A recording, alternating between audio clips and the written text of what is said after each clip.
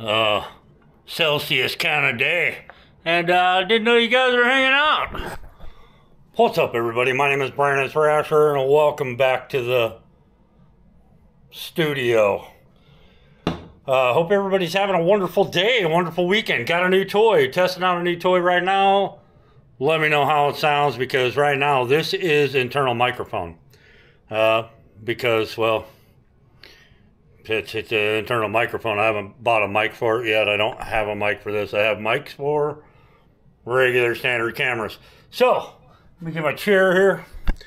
Have a little chit chat real quick. Hopefully, this looks good, sounds good, is good, maybe kind of good.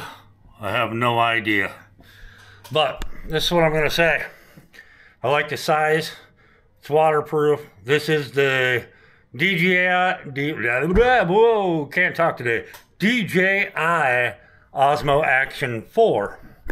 Now, I was looking at this compared to the GoPro Hero, uh, whatever it is, 12, I think.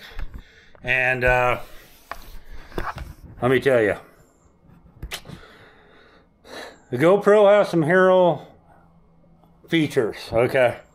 But only like four that I like more than this. This, I like everything about it actually better. Um, but this isn't a camera review right now. This is a camera test. We're testing it out.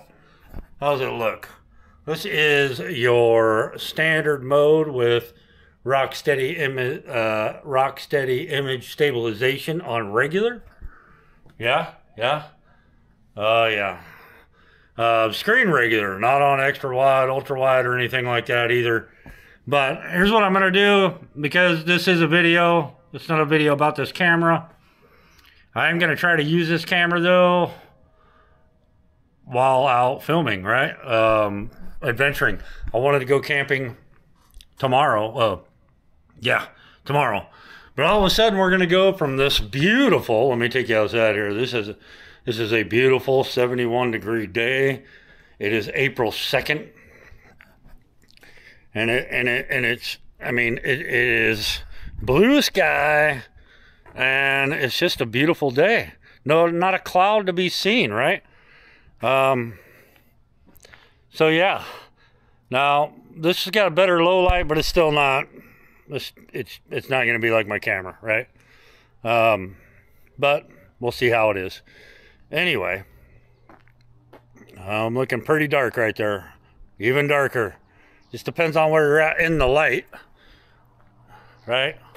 I'm kind of digging it though. It is, I do got to get some attachments. Kind of weird to hold like that. Uh, I'm going to have a video coming on the trailer. I'm going to be doing work to the trailer while I'm doing work to the truck. I put up a, man, you can barely see me, right? Because it, because I'm I'm I'm not front lit.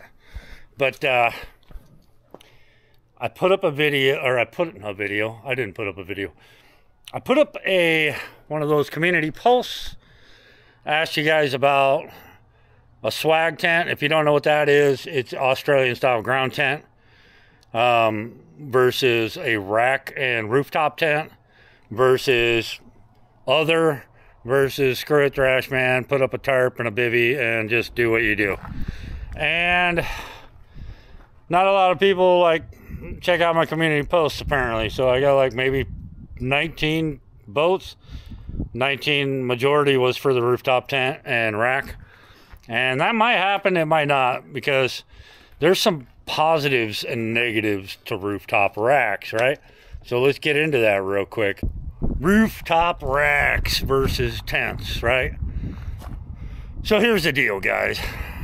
To do a rooftop rack or rooftop tent, you have to have a rack. Depending on what kind of tent, depends on what kind of rack. So if I wanted a wedge style tent, right? I'm gonna have to have a full size rack because a wedge style tent's too long for this little short bed. So it has to sit above the cab, which means I gotta have a full size rack. That's that's considerable amount of weight, but it's not impossible, obviously.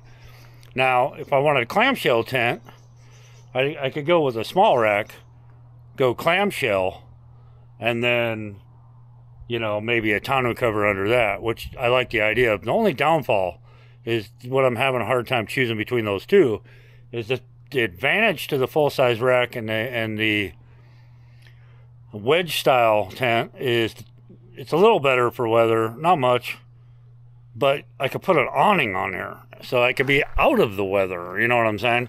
Out of the weather is a good thing, but I could always hide in the tent if it was bad or set up a tarp. You know, I haven't decided which way. But the trailer, the trailer incognito here, but it needs a little work. It needs a little work. It's time to upgrade some of the electronics in here.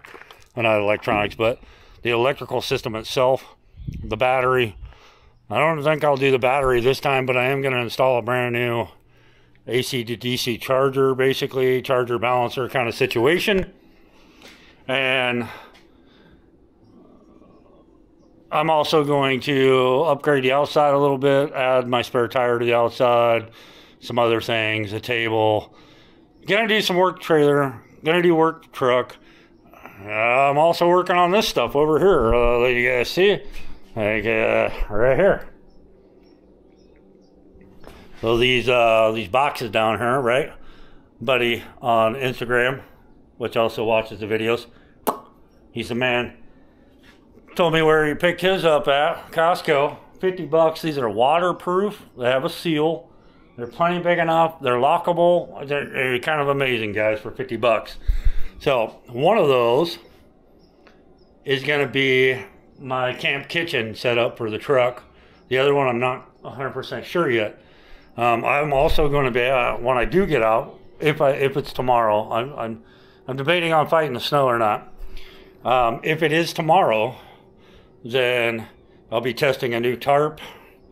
I'll be testing a new camp table. Um, maybe a couple other products. In fact, one for sure, which, huh, getting ready to do the video on that product this week as well. And it's not going to be a review video on that one. It's just, it's a product I, I have before, but I haven't had before. I know how it works. I've used one many times. I just haven't had this new version. So I got the new version because when it's just me going out, like when I go out for this overnight car camp, which is what I'm planning, um, I only have to make food for me, right? So what are we going to make? Well, uh, like there's breakfast, you know, a Peak Design biscuits and gravy. Uh, you can't go wrong with it. But basically, you're just gonna have to boil water, maybe make top ramen or, or something, whatever it is, right? So I don't need like a two burner stove, pots, pans, and all this. I don't need to take my kitchen setup. I just need something for one person for one day. So I, I, I picked up something that I used to have and own this is a more modern version, and I think it's going to be pretty awesome. Anyway, guys, this is the new toy test. So let me know what it sounds like on your end, because you're going to hear it before I edit it. But really, I'm going to edit it before you hear it. It's kind of weird, right? Weird. But let me know how it sounds with the internal microphone, because this is the internal microphone, okay? And then let me know what the picture quality is like. I'm filming in 4K. I'm going to stay in 4K. That, that's that's my purpose. I hope. Um, my current video setup is from a mirrorless camera that is a little older mirrorless camera, but a great camera. But and it can shoot 4K, but I don't like the autofocus in its 4K, so I shoot in 1080. But I'm gonna start if I do use that camera, which I will for here in the shop for the most part. I'm just using this as a test. Just not. This is not the view you want to see Thrashman at ultra wide, the whole, yeah, we don't want that. So that camera, I'm going to uh, start upscaling it to 4K to make sure that at least we're in 4K on everything. Anyway, guys, hit me up in the comments below. Please let me know how it sounds, how it looks. What do you think? I, I think it looks like it underexposes a lot when I switch and the light becomes dark, right? even though it's a one inch sensor, or not one inch sensor, but it's a larger sensor than GoPro. It's supposed to be better in low light. It does have a low light mode. I don't know why it doesn't kick on, but see right there, the exposure, right? It's dark. But I think this is to work. I'm to get a light for it. I need to know if I need to get a microphone for it or just windscreen. You guys let me know. I Hope you're having a wonderful day. If not, I'm sorry. Re- regroup and whoop the day down. Anyway, as always, get out there and get something done. I love you guys, and I'll catch you guys in the next one.